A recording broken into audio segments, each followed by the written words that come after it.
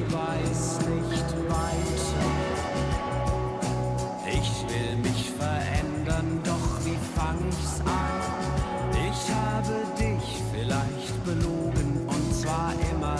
Früher war nicht alles besser. Tokotronic-Sänger Dirk von Lotzo hat seine Jugend in keiner guten Erinnerung. Aufgewachsen in einer süddeutschen Kleinstadt fühlte er sich als Außenseiter. Seine Lebensgeschichte, das Thema des neuen Albums Die Unendlichkeit. Ich habe mich eben erinnert, wie, wie ängstlich ich eigentlich als Kind war und wie, eben, wie wenig tapfer und wie wenig grausam und wie stark man auch eine Bedrohung teilweise auch von anderen Kindern, die ja unglaublich fies und bösartig sein können, wie man die wahrgenommen hat. Vielleicht weil man nicht so in dieses dominante Jungs-Schema oder so gepasst hat. Dieser langhaarige Junge verkörpert den jungen Dirk von Lotzo, heute 46, in den aktuellen Clips.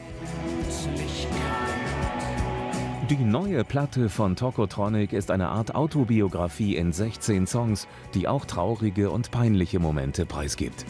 Ich glaube, viele irgendwie, ja, wenn die dann halt so ihre Autobiografie schreiben, das ist halt, die bleiben dann halt weg von den, diesen Themen. Ha? Also, weil die Erinnerungen werden irgendwann mal eher so verschwommen und oft erinnert man sich eher so an die schöneren Momente als halt diese, diese härteren Momente, die dann auch manchmal sich, sich prägen. Hey du, was schaust du mich an? Ist es mein cooler Garten? Hey du, was schaust du mich an? Zum 25-jährigen Bandjubiläum kehren die Indie-Rocker zu ihren Anfängen zurück. Keine abstrakten Sprachkonstruktionen mehr, sondern Texte, die einfach sind. So sind wir bekannt geworden als Band, dass einfach Dirk das Talent hat, ganz einfach etwas zu formulieren, wo viele Leute dann sagen, ah ja, daran kann ich mich wiederfinden, das, das kenne ich. Wir sind hier nicht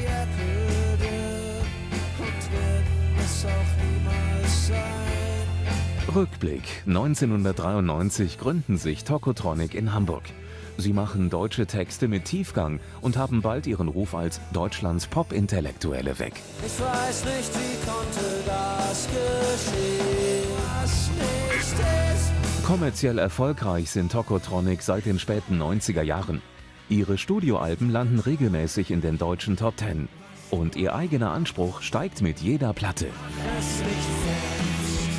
Früher hat man die Alben so hingerotzt und das war, hat auch Spaß gebracht und irgendwie zu guten Ergebnissen geführt. Aber das wäre heutzutage, glaube ich, für uns einfach nicht mehr die, die richtige Form, etwas zu tun. Ich gebe dir alles und alles ist da.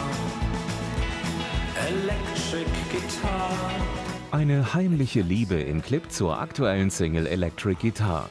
In vielen Erlebnissen, die Dirk von Lotzo auf der neuen Platte teilt, finden sich auch seine Bandkollegen wieder.